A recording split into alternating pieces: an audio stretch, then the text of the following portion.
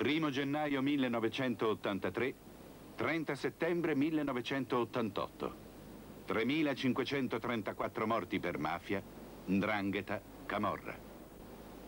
La guerra italiana deve finire.